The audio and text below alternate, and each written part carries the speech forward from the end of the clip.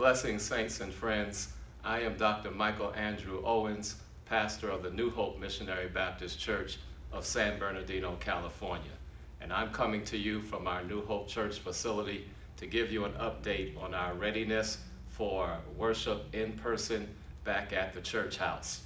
Uh, we have drafted a letter to our New Hope Church family, and I want to share it with you so that you can be uh, cognizant of the experience that we are preparing for you to have and the precautions that we have taken for your health and safety as you do so.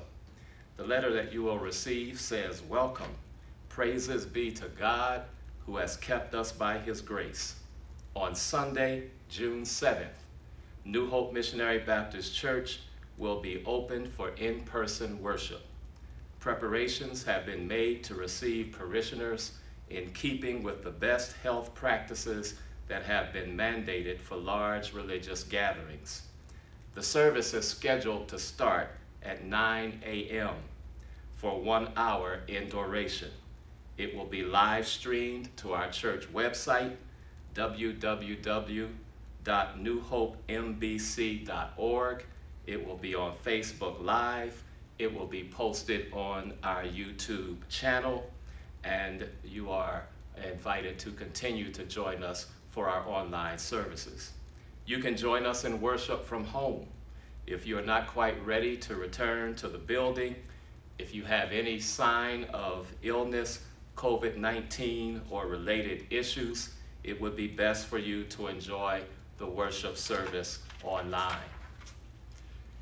The following is information that is essential for you to have a good experience in your return to the church campus this Sunday.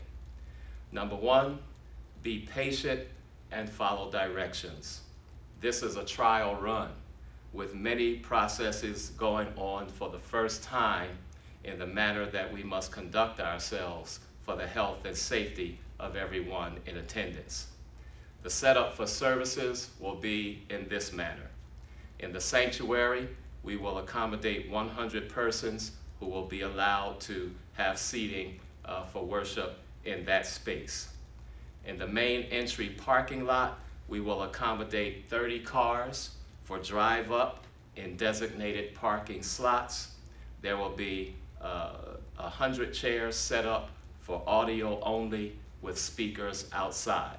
So outside, you can drive up and enjoy the worship in your car or you can take one of the seats that have been provided to listen to the service. This is the timeline. Service is scheduled at 9 a.m. for in-person and live stream worship. Doors open at 8 a.m. and that is when our entry processing begins. The main entry is in front of the church. Everyone except staff and support teams on duty for the day must enter at the main entry. Required for entry, temperature checks and questions regarding COVID-19 exposure will be asked by our health ministry team of all persons entering the building.